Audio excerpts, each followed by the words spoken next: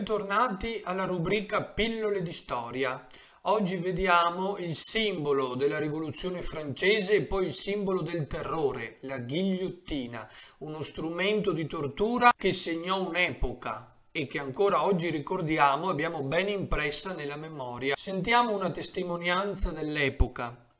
Tutto si consuma in fretta. Gli assistenti tagliano con una forbice la camicia blu e lo lasciano a torso nudo. Le mani gli vengono legate dietro la schiena, lo fanno inginocchiare. Sento un rumore sordo. Mi giro e vedo sangue, sangue ovunque. In un secondo una vita è stata falciata.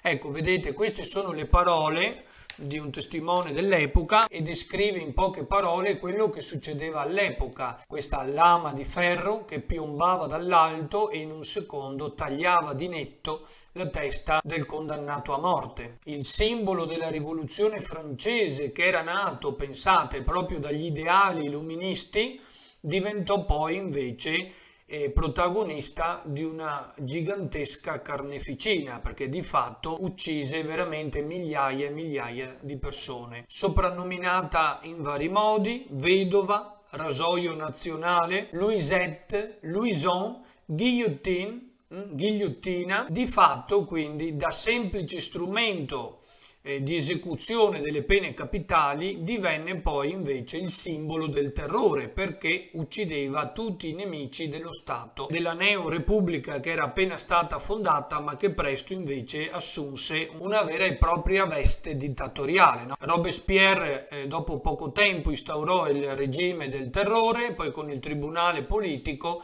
di fatto quindi divenne eh, un mezzo per sbarazzarsi di tutti i nemici politici dell'epoca naturalmente dopo la creazione del Comitato di Salute Pubblica. Migliaia di teste passarono sotto questo strumento, sia popolane sia nobili, naturalmente, partendo dai reali di Francia, Luigi XVI e la consorte Maria Antonietta nel 1793, per poi tagliare la testa anche a molti nobili e al popolo, naturalmente, e tutti i nemici politici quindi dei giacobini, perché poi divenne lo strumento per eccellenza dei giacobini e gli stessi giacobini poi ci finirono sotto, compresi lo stesso Robespierre e Saint-Just, per esempio. È buffo pensare che questo strumento di morte venne partorito dall'illuminismo, da quegli ideali di uguaglianza, di libertà, di fratellanza che resero grande la rivoluzione francese che segnarono definitivamente l'umanità perché dopo la rivoluzione nulla fu più come prima. La rivoluzione cancellò definitivamente la società di antico regime quindi l'Ancien regime venne polverizzato.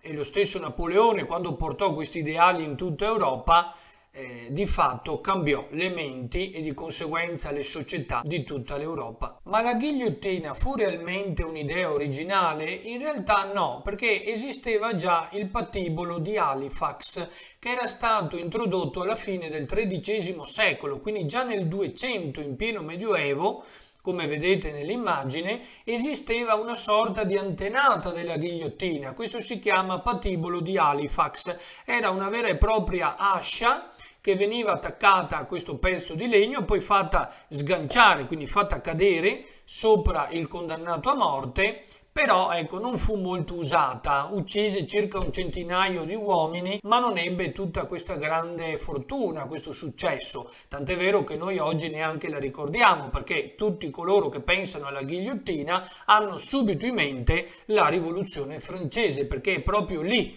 che venne partorita dalla mente, pensate, di un medico Altra ironia della sorte, colui che dovrebbe salvare le vite in realtà ideò questo strumento di morte. Però attenzione, perché non è un caso, perché chi meglio di un medico poteva conoscere eh, il funzionamento di un corpo umano, quindi non è neanche così insolito o così ecco, sorprendente. Quello che invece è interessante è che non fu poi questo medico e deputato dell'Assemblea nazionale a realizzarla, lui fu solo l'ideatore, ma addirittura non aveva neanche in mente quale potesse essere lo strumento vero e proprio, cioè lui abbozzò semplicemente un'idea in realtà poi fu un chirurgo a realizzare il progetto, non quindi questo medico, ma un chirurgo, e infine poi fu, pensate, un costruttore di clavicembali tedesco a realizzare poi materialmente l'opera, quindi la, lo strumento di tortura. Viene dato il nome al medico che ha inventato, cioè che aveva pensato a uno strumento unico di tortura, ma in realtà poi non è lui né ad averlo eh, realizzato né ad averlo poi invece progettato. Fu colui al quale venne l'idea, sto parlando quindi del medico eh, e deputato francese Joseph Ignace Guillotine è proprio lui, vedete quindi dal suo cognome poi venne dato il nome alla ghigliottina, allo strumento di tortura. E infatti pensate in un disegno di legge che lui presentò eh, quindi all'Assemblea nazionale, che cosa dice? Con la mia macchina vi farò saltare la testa in un batter d'occhio e non soffrirete affatto. La lama piomba come un fulmine, a malapena si percepisce un soffio d'aria fresca sulla nuca. Quindi vedete, lui aveva soltanto in mente questa idea di uno strumento che tagliasse la testa di netto e nient'altro. Perché però lo dice? Non soffrirete affatto. Ecco, attenzione, quindi è uno strumento partorito dall'illuminismo, ma per quale scopo? Per non far soffrire i condannati a morte. Quindi in realtà aveva un fine nobile, se così possiamo dire. Perché? Perché fino a quel momento, come erano avvenute le esecuzioni? Beh, dipende dal ceto sociale di appartenenza. I nobili venivano decapitati con una spada, quindi si tagliava la testa con una spada, ma voi capite che spesso non era detto che al primo colpo la testa venisse recisa di netto, poteva soffrire terribilmente. I popolani, soprattutto i criminali, quelli più incalliti, che avevano commesso i più efferati crimini, venivano bruciati vivi sul rogo oppure venivano squartati o semplicemente venivano fracassate tutte le ossa. Quindi era anche uno spettacolo pubblico a cui accorrevano moltissime persone, si divertivano a vedere ammazzato quindi il condannato, non il reo. Tuttavia, ecco, l'illuminismo non può più accettare la tortura. Lo stesso Luigi XVI, proprio l'ultimo re di Francia prima della rivoluzione, eh, che poi finì anche alla ghigliottina, abolì la tortura nel 1780. Era proprio anche un modo alternativo per non far soffrire i condannati a morte. È interessante, dicevo, che quindi soltanto l'idea venne a Guillotine, colui poi che diede il nome vero e proprio alla, allo strumento di tortura, insomma il suo nome fu associato a, questa, quindi, a questo strumento di morte. In realtà e colui che poi presentò il progetto vero e proprio, quindi colui che la disegnò, che la concepì, fu invece un chirurgo, eh? un chirurgo, il chirurgo francese Antoine Louise. E non è un caso poi che la ghigliottina fosse chiamata eh, in quel periodo anche la Louisette o Louison proprio dal nome quindi di colui che realizzò il progetto vero e proprio, questo chirurgo. Infatti il chirurgo stesso presentò poi eh, il progetto di questo strumento nel 1792. Infatti descrive questo strumento come due pali verticali di un'altezza di 4 metri con una lama che poi fu inclinata di 45 gradi perché si scoprì poi che tagliava meglio il collo, quindi il reo, e la lama veniva poi issata con una corda e lasciata poi cadere sulla testa quindi del criminale. Per tenere fermo il corpo naturalmente si pensò quindi di eh, farlo poggiare su, questa, eh, su questo lettino a pancia in giù e la testa veniva infilata su queste due semilunette di legno per poterlo tenere fermo in modo che poi non ci fossero problemi e che la testa fosse tagliata di netto perché lo scopo era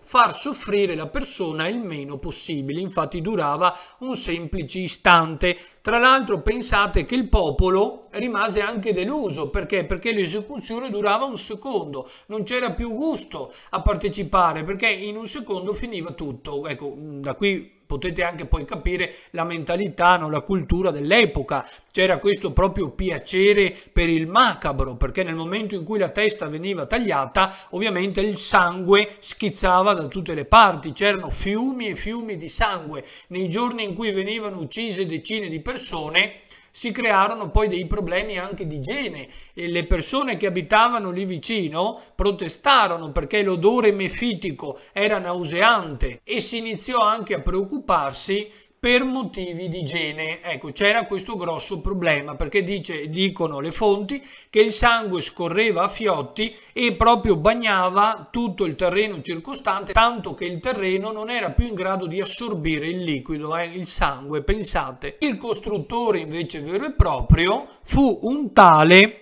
eh, Tobias Schmidt un tedesco, pensate, un costruttore di clavicembali, colui che era solito fabbricare degli strumenti musicali, poi fabbricò uno strumento di tortura, il rasoio nazionale, come venne chiamato, no? soprannominato da tutti il rasoio, perché tagliava la testa a tutti. Se volete vederci anche un po' di giustizia, si pensò a questo strumento come un unico strumento uguale per tutti di morte. Eh, quindi tutti, dal più ricco al più nobile fino al più povero, dovevano subire la stessa sorte, la stessa fine. Quindi uno strumento che li rendesse uguali anche di fronte all'esecuzione. Di fatto abbiamo tre autori di questo rasoio. Guillotine, Antoine Louis, quindi un medico un chirurgo e poi il costruttore tedesco vero e proprio Schmidt. La vedova, la Louisette o il rasoio nazionale, chiamatelo come volete,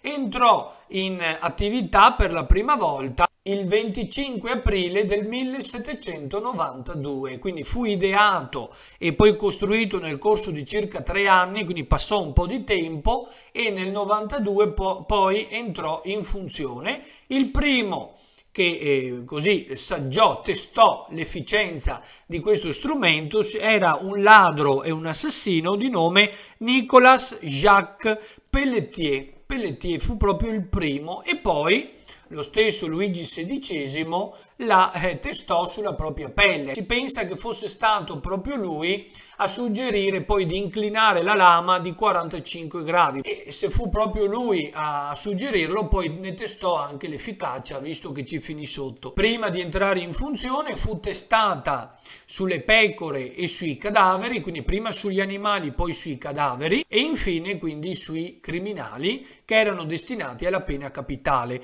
Notate poi quindi che da strumento quindi di giustizia divenne invece uno strumento politico per uccidere tutti gli oppositori dei giacobini durante il periodo del terrore e poi alla fine gli stessi autori del terrore ci finirono sotto. Robespierre e Saint-Just sono due esempi, ecco, su tutti i due esempi più eclatanti. Sulla lama stessa fu scritto Armée de la République, è molto ironico, no, se vogliamo, perché l'arma della Repubblica poi segnò un vero e proprio regime dittatoriale, insomma un regime del terrore in cui le persone non erano affatto libere di potersi esprimere e di poter vivere in pace come invece possiamo fare noi oggi. Perché però fu chiamata in tutti questi modi? Beh, rasoio nazionale mi sembra evidente visto che tagliava di netto la testa a tutti come un rasoio. Poi però fu anche definita vedova perché? perché era lì da sola, questi due pali con questa lama sopra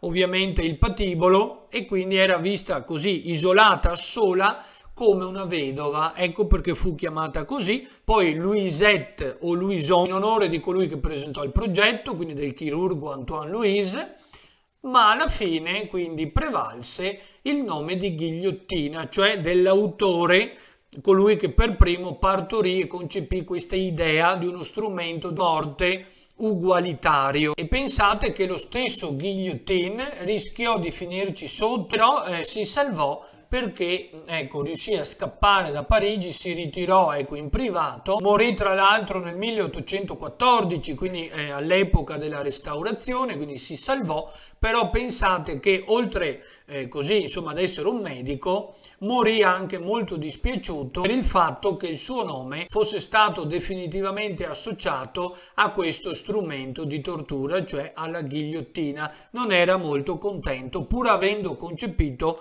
questa idea. Ecco, quindi vedete uno strumento che segnò un'epoca che cambiò, se volete, anche il modo proprio di pensare, di concepire le esecuzioni pubbliche, sicuramente positivo perché mh, mm, grazie a questo strumento insomma, si, si, cercò inizialmente di ridurre il dolore, le sofferenze dei condannati a morte e poi fortunatamente si arrivò ecco, nel corso del tempo invece all'abolizione della pena di morte. Quindi vedete tratteremo ancora questi strumenti, le invenzioni, i modi di pensare perché sono queste le cose che rendono umane le persone che ci hanno preceduto, noi nostri predecessori, siamo troppo abituati a parlare di storie in maniera mnemonica, a vedere soltanto gli eventi bellici o politici, ma la storia è fatta di persone, è fatta di uomini e donne che hanno vissuto tutti i giorni nel quotidiano. Quindi impariamo che non soltanto nell'antica Roma, ma anche nella Francia rivoluzionaria,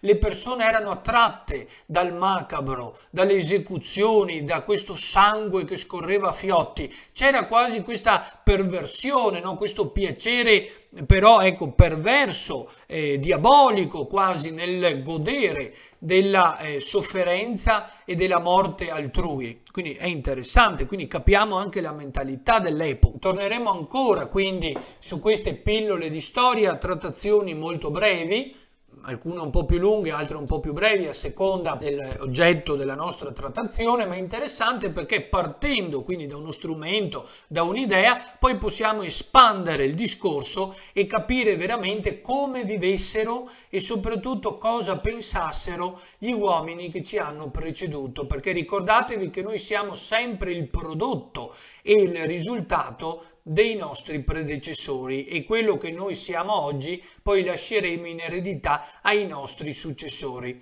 Io vi saluto, ci vediamo alla prossima.